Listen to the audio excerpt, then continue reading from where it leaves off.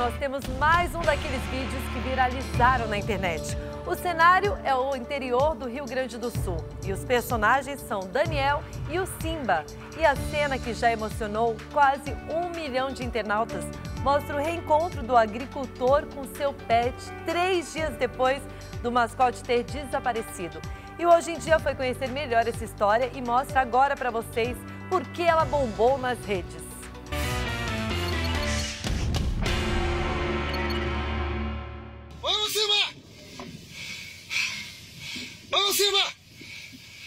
Simba!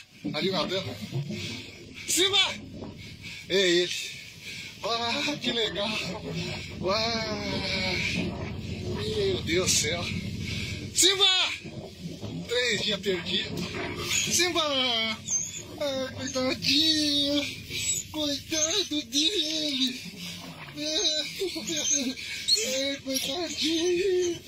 Bom dia, hoje em dia sou o Daniel, sou da cidade de Arambaré, apresento vocês o Simba. Aí o sapeco, o fujão aí. Ah, esse mocinho deu trabalho para o Daniel.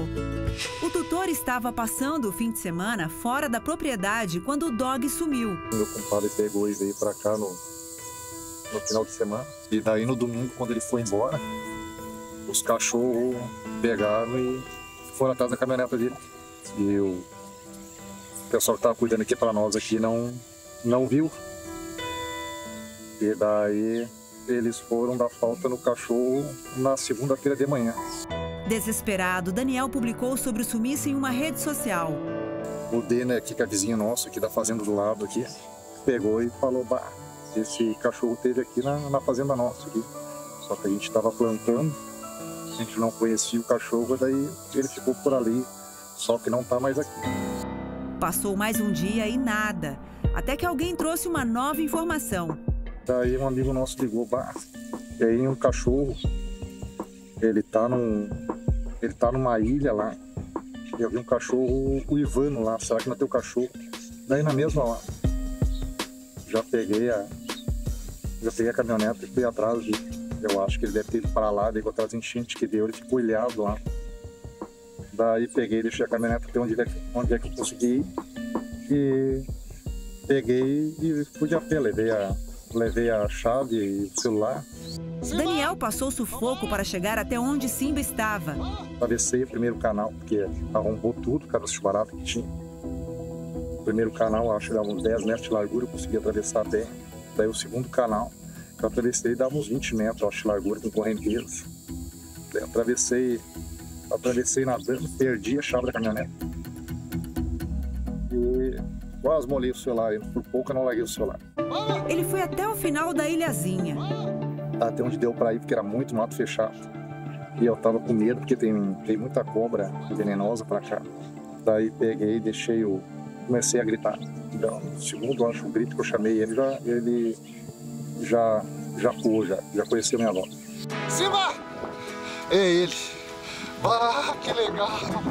Ah, meu Deus do céu. Simba! Três dias perdidos. Graças a Deus. Esse encontro lindo encantou os internautas.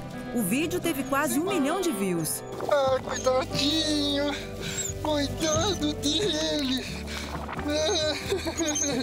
Ah, coitadinho. De noite, quando eu fui olhar, eu acho que já tinha umas 20 mil tá? ah, pessoas que tinham olhado já o vídeo. E daí, no outro dia, já tinha, eu acho, umas 50, 60 mil pessoas. Nunca achei que ia, que ia ter tanta gente olhando o videozinho. Ele Cara, atravessei nadando lá. Lá.